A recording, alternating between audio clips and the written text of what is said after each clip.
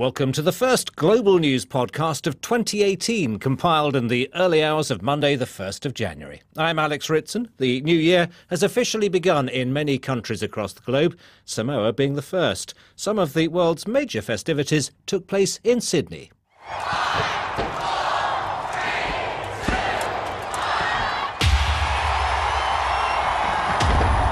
Dubai saw the traditional fireworks replaced by a laser show from the top of the world's tallest building, Burj Khalifa.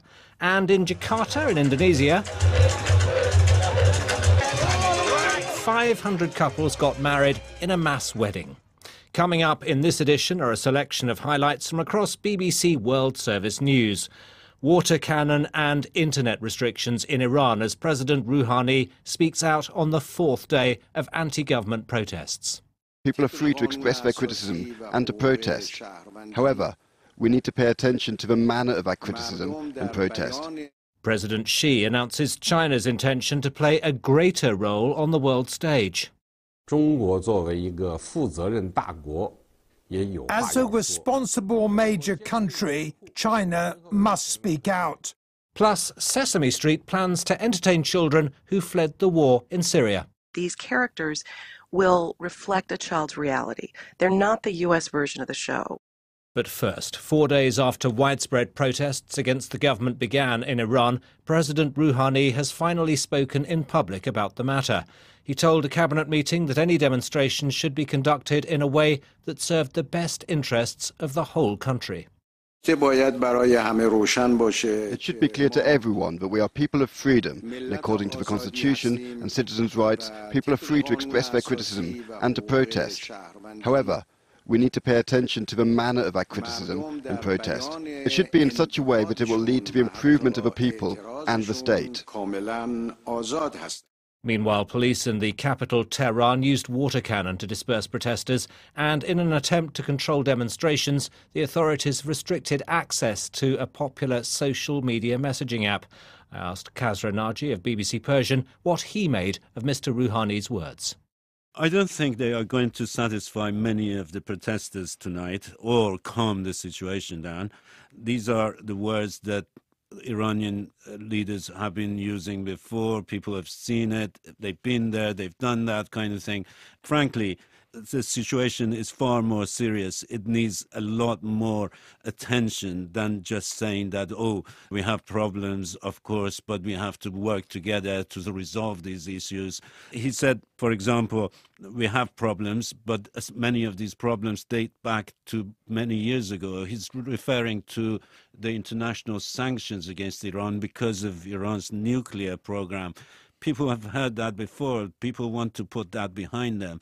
And these words are not going to satisfy them, I don't think. So we've now had four straight days of anti government demonstrations. Are they getting bigger? They're becoming more widespread. I saw a map earlier that mapped all those places that were the scene of demonstrations on the first day and the second day and the third day. And each day there were more demonstrations in more places. So if you go by that map and that data, it looks as if it's expanding in terms of numbers of places and also geographically throughout the country. Is there any sign of the government taking back control? there are reports coming in of more clashes throughout the country in various cities. We're talking about a dozen or so cities where there have been demonstrations. In at least three of them, we know that there have been clashes with the police, probably more.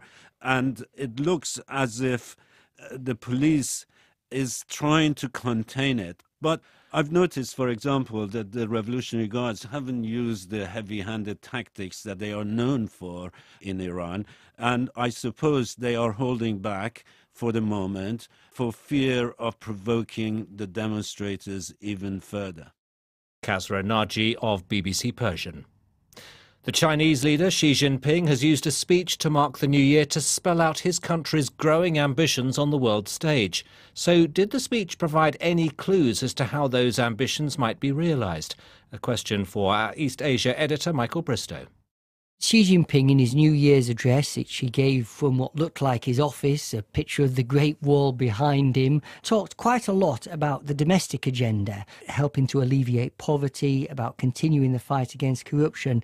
But in this eight minute address or so, the most notable aspect was China's, or what he saw as China's role on the global stage. Now, in the past, China has tended to hide itself away. Xi Jinping thinks China should take its place on the world stage. And this comes at a time when President Trump really seems to be turning uh, uh, America inwards. So, what Xi Jinping said was essentially that the world is looking for a clear stance from China.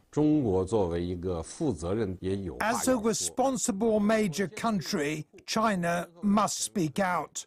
We will staunchly safeguard the authority and the status of the United Nations and will ensure it fulfills its due responsibility and duty in international affairs. So, Michael, why is this happening now? Well, partly it's to do with the Chinese economy. Eh, it's grown tremendously. It's now the second biggest economy in the world. So China feels it has a lot more money to do what it's always perhaps wanted to do. In the past, it's had a number of grievances, a number of things that it wanted to do. It's wanted to reform the world order, but it just wasn't big or powerful enough to do that. Xi Jinping has obviously taken the opinion that now it, it is strong enough to try and reshape the order. He talked a lot in the speech about upholding the United Nations, upholding world order, tackling climate change, and China will do all those things, but also it looks to reshape how the world is organized as well. It's over recent years started its own development bank. It looks to reform the World Bank. It's ignored international judgments on the South China Sea. Now it feels it has the power to be able to do what perhaps it's always wanted to do. So, more diplomacy for China, but does this also potentially mean more military power outside China too. Well, interestingly, um, Xi Jinping, uh, in his speech, he talked about China launching its first homemade aircraft carrier. He says it's for defensive purposes, but many other countries uh, around China and the United States will look at what's going on in China and think that perhaps it's going to use its military might in the future in order to push forward uh, changes uh, to the world order. So there will also be a, a section of politicians nations across the world which um, will be slightly worried about um, the direction China is heading in. Our East Asia editor, Michael Bristow. California starts the new year by becoming the largest state in the United States to legalize the recreational use of cannabis. Adults over the age of 21 can now possess up to 28 grams of the drug and grow six marijuana plants at home. Opponents say the new law will lead to more drug driving and will encourage young people to take up drug use. Supporters have complained about red tape. Our Los Angeles correspondent James Cook reports. Californians voted in favor of legalizing cannabis on the same day that Americans elected Donald Trump as their president. In the 14 months since then, a complicated patchwork of taxes and regulations have been drawn up to govern sales of the drug. Critics say the red tape will discourage consumers, growers, and retailers from leaving the state's vast black market, and only a few dozen shops have so far been approved to open. The cities of Los Angeles and San Francisco have yet to sanction any recreational marijuana outlets. Still, California, with a population of nearly 40 million, is now the sixth state to legalize cannabis, which means one in five Americans can legally purchase the drug. Confusingly, the federal government still regards marijuana as illegal, classifying it alongside heroin and cocaine as a proscribed substance. Our Los Angeles correspondent, James Cook. Germany's Chancellor Angela Merkel has been under growing pressure since she failed to form a new conservative led coalition after the general election three months ago. So she took advantage of her traditional New Year's Eve television message to try to reassure her country that she will address growing social divisions, strengthen the European Union, and focus on security and defence. Wir werden noch mehr in einen starken Staat investieren müssen. We will have to invest yet more in a strong state which defends the rules of our living together and guarantees your safety, the safety of all of us. That's why I want to thank especially the police officers who will be there for us tonight and protect the many New Year's Eve parties in our country. Our Berlin correspondent Damien McGuinness listened to her speech and gave this assessment. Germany has no formal, official government right now. There is a caretaker government. Uh, Mrs. Merkel is acting chancellor, but she's not actually been been sworn in as chancellor yet for the next four years. So it's quite an unusual time. So that's why she, in the speech, promised that very soon in the new year, a new government would be formed. If all goes well, if the talks with the centre left Social Democrats, which is going to start on January 7th, if they go well, we could see um, a government in place by Easter. That would be sort of the earliest. If the talks don't go well, then it could be one of those less good options, which would leave Mrs. Merkel severely weakened. So, will Germans be convinced? Well, it depends really how the talks go over the next few weeks. Now, uh, it's clear to everyone that Mrs. Merkel does not want the uh, fresh elections, doesn't want a minority government, so she's going to do her best. That's that's that's clear because any anything else would, would be bad for her and be bad for her government. But the, the real problem is, are the Social Democrats because they're severely weakened also by the a very poor election result. Their voters, many of their supporters, and many of their members say that the reason that they are so weak is because of the last time they shared a government as the weaker coalition partner with Mrs. Merkel. Many of the, the party's members believe that left them severely burnt, which means they're very wary of, of getting into bed again with Mrs. Merkel's centre-right party. So, so trouble so, with her own, with, with her junior coalition partner, but there's also dissent within her own party, isn't there? Yeah, I mean, it's sort of rumbling away, really, because the, the problem for Mrs. Merkel is just in the same way that the SPD, the Social Democrats, if they compromise too much, they're going to uh, lose the support of their left-wing members it's exactly the same for Angela Merkel. If she compromises too much and gives in too much, she'll lose the support of her conservative members and conservative voters because she's also been accused of over the last period in government sharing sharing a government with the centre left she's been accused of going too much to the centre and betraying the party's conservative values. So she's got to really stick to her guns. So this is really the problem for both the centre left and Mrs Merkel's centre right that they've got to somehow stick to their values, keep their members and their voters happy, while at the same, the same time somehow compromising, because they don't find a compromise, that would lead to a certain amount of instability in Germany and by implication, with Germany being the largest country in Europe, also the European Union in general. Damien McGuinness. Thousands of tiny endangered turtles have been released back into the wild from a beach in the west of Mexico. Campaigners hope to raise awareness among local communities of the creature's dwindling population. This report from Claire McDonnell.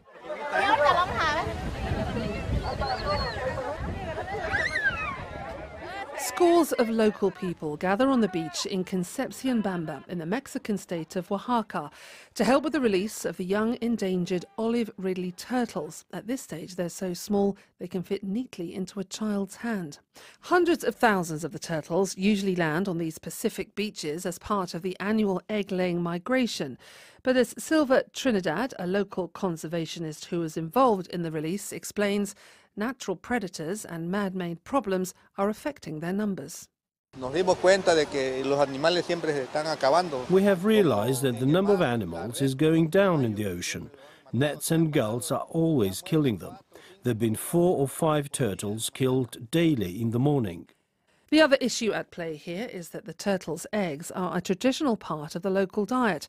Markets openly display them alongside turtle meat, despite laws prohibiting their sale. The turtles themselves have been slaughtered in their hundreds of thousands for centuries, and it's hoped that involving local families in the release of the turtles, well, young people will want to protect them in the future, like this young girl. La mandé al mar y se, si fue she says, I released her into the sea. She went to the sea, she went to her house with her family. Claire McDonnell. You're listening to Global News, the most important stories and the best interviews and on the spot reporting from the BBC World Service. Every weekend, you can hear a review of the week's main news stories and why they matter. That's in The World This Week, and the programme is also available to download from our website, www.bbc.co.uk forward slash programmes. Police and soldiers in the Democratic Republic of Congo have used force to block a planned rally calling for President Joseph Kabila to step down. Police say at least four people, including a police officer, were killed in the violence. Earlier, protesters, with priests walking amongst them, clapped and chanted. These people said they were fed up. Even under President Mobutu, which was a dictatorship, you could march peacefully. But today we just don't understand anymore. We're really tired of President Kabila. We are tired. We have never had peace in this country. Nothing works. We don't eat well. President Kabila is still young. He can leave his place to someone else and come back later if he wants. He has worked a lot already. It's enough. We don't want him. He should go and rest. Grant Ferrett has been following the story. Tear gas and live ammunition as well have been fired by the security forces in a couple of locations in Kinshasa, in the capital. There's been particular attention on one church in a district called Bandalungwa. Police there reported to have interrupted a mass as it was being celebrated. One report I read says choir boys were among those who were detained. Uh, a priest has been held at another church in Kinshasa. There have been roadblocks and tight security in the city since Saturday. The police had said that a planned rally, uh, which the church was going to be involved in, was not authorised and couldn't go ahead. Uh, the authorities also ordered the closure of internet services and uh, the blocking of text messages uh, across the country.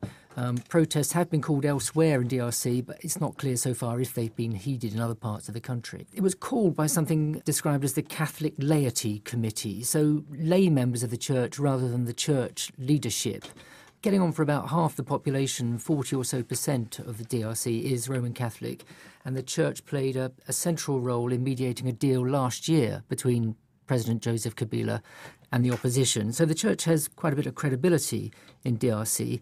Under that deal last year, new elections should have been held by now. President Kabila should have stepped down. That deal hasn't been implemented, and we should remember too that Mr. Kabila should, according to the constitution, have stepped down a year ago which is when the election should originally have been held. Grant Ferrett. Characters from the children's television programme Sesame Street are going to be used to help teach children displaced by war in Syria. The Sesame Workshop and the International Rescue Committee have won a $100 million grant to help with the toxic stress suffered by many child refugees. Sarah Smith is the IRC Senior Director for Education and spent time recently visiting child refugees in Lebanon. She explained what's meant by toxic stress. When a person experiences multiple kinds of adversities, such as displacement or poverty, hunger, violence, when they've witnessed very severe and adverse things that are associated with war, uh, their body essentially goes on high alert. And what this means is that they have a flooding of hormones that happens essentially all the time in their bodies. So, children often then appear agitated, they might appear withdrawn, they might also have a hard time regulating their emotions. If a child has toxic stress that goes untreated, these children as adults will have a harder time succeeding in jobs, they'll have a harder time having positive relationships, and they're also more likely to have health problems. Sherrie Westin from the Sesame Workshop. We've had a long history of creating local productions and adaptations so that these characters will reflect a child's reality. They're not the US version of the show. So so let's imagine there's a new character in the in the new production who perhaps had to leave her home or lives in a tent or becomes best friends with her new neighbor. All of these are designed to have storylines that children can relate to and characters that they identify with. And then it will not just be mass media it will also be programs to go into homes and into schools with direct facilitation to reach the most vulnerable children. And what of the different languages that may be spoken by people in refugee camps? How do you accommodate all that? Well, all of our content will be done in both Arabic and Iraqi Kurdish, and it will be in Jordan, Lebanon, Syria, and Iraq. And and one other point I would make is that you know people think that most refugees are in camps, when in fact the vast majority of Syrian refugees are living in communities and neighborhoods side by side with their new neighbors. So we will reach them in camps, but also throughout the region. At times, clearly Sesame Street has frivolous moments. How much of that will be visible on the kind of program that you're describing? Well, there's a method to our madness. It, what you may refer to as frivolous, we would probably refer to as humorous. I was trying to choose and, my word carefully, but yes, you, by all means, put me right. but no, I think one of the other things people don't realize is that we've been around for almost 50 years, but Sesame was created to appeal to adults as well as children. That's why there were celebrities and humor and parodies, because if it worked on both levels, there was more chance of an adult watching with a child, which meant the learning would be greater. So that humor humor is very deliberate because we reach caregivers and adults as well as children. And then you're becoming not only a tool to educate children, but a catalyst for that important adult child relationship. How much difference, though, realistically, can it make if, if a child is able to sit down and watch something like this and take it on board and be with the appropriate adults at that moment, but then goes back out into the world which is still chaotic all around them, can it really make a big difference? Oh, Well, it can. We have, you know, everything that we're doing in this program is evidence based. And we have research that shows that Sesame productions in developing countries have learning outcomes, both academic and social emotional, equivalent to a traditional preschool. But with mass media, that's at scale. But please understand what critical component of this initiative.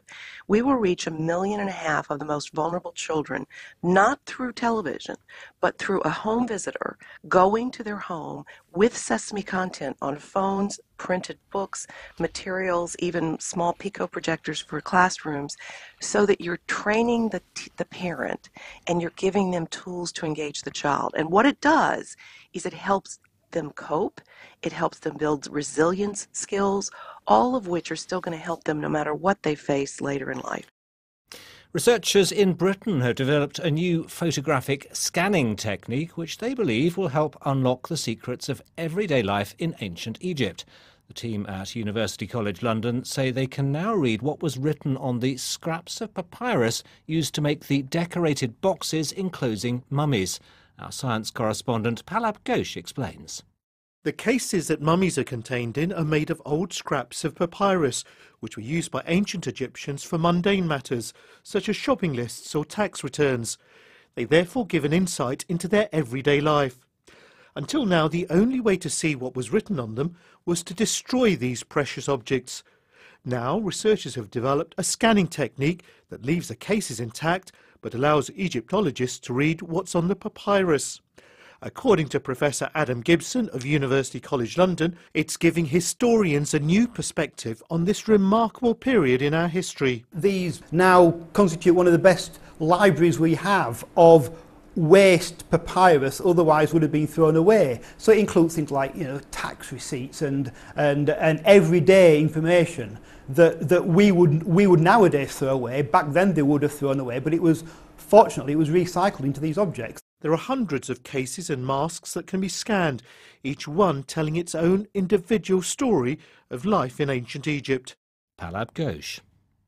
As we start a new year, it's fun to speculate on which stories might make the headlines over the next 12 months. Our correspondent Alex Capstick has been looking at the world of sport and starts his predictions with a most unlikely entry at the upcoming Winter Olympics. Give it to me two times. Uh, uh. Sport can be thrillingly unpredictable. A Nigerian bobsled team at the Winter Olympics might have seemed unthinkable. But in February in Pyeongchang, this trio of women led by Seun Adigun will be sliding down the ice at around 130 kilometers per hour. It's been beautiful to know that Nigeria is supporting us. They've never had anyone in the Winter Olympics, and they're excited to see that happen. Nigerians globally, people that are even non Nigerian, you know, just being supportive of the fact that this country is going to get representation at the Winter Olympics and the continent's going to get representation in the sport of bobsled.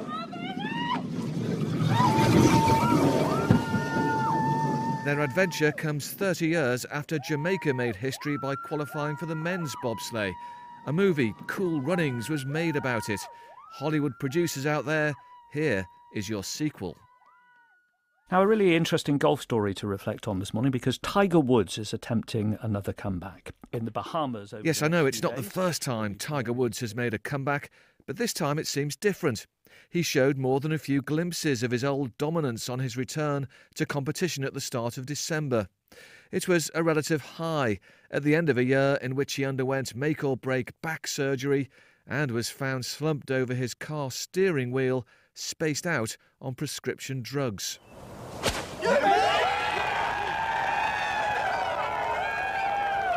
So, if Tiger Woods can continue his revival on the course and perhaps challenge for major honours, it would be a remarkable turnaround. Here are the thoughts of sports psychologist Amanda Owens. He's had an awful time. Yes, he's fragile. Yes, he's vulnerable, like we all are as human beings. But he also has an unbelievable passion for the sport. Players, people can come back, and, and they do come back. There's a history of it. He needs to have the correct support around him. But I do believe that he will bounce back. He's he has the ability, talent, and mentally very tough. There are things which lead me to think that maybe I will I can become even better driver or more complete driver than I was in the past. Motor racing, by its nature, is filled with fearless competitors. But this next story features an individual with breathtaking courage. In 2011, Poland's Robert Kubica, one of the fastest drivers in Formula One, was involved in a devastating crash. He did well to survive, but suffered life altering injuries to his hand and arm. Last June, he was back on an F1 circuit testing for Renault, and now he's in contention for a place in the Williams team. If I come back, I don't want to do it just to come back. No, I need to be sure that I'm able at least to come as close as possible to the level I was before my accident. I feel pretty comfortable. I, I will be able to do it. So uh, that's that's big step forward. Ladies and gentlemen, please welcome the number one player in the world, Serena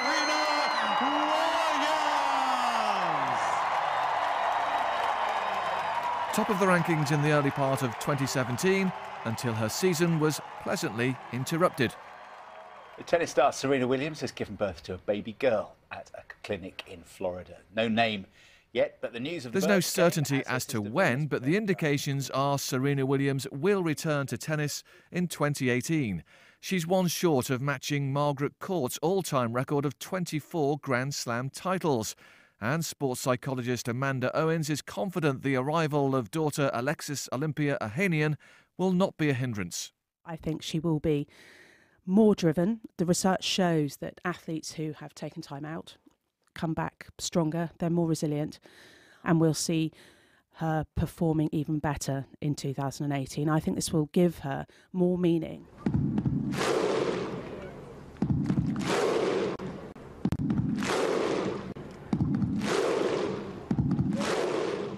And finally, we turn to the biggest sports event of the year, the World Cup, and the Thunderclap. Yes, Iceland, with a tiny population of 335,000, will make history by becoming the smallest nation to compete in football's showpiece.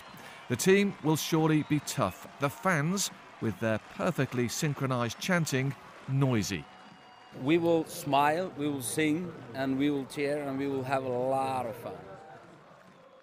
Iceland probably won't win the World Cup, but they'll provide the romance in Russia, and they'll definitely be hard to ignore. Oh, from Eastland! Alex Capstick. And that's all from us for now, but an updated version of the Global News podcast will be available for you to download later. If you want to comment on this podcast or the topics covered in it, you can send us an email. The address is globalpodcast at bbc.co.uk. I'm Alex Ritson and a very happy new year from all of us who work on the Global News Podcast. Until next time, goodbye.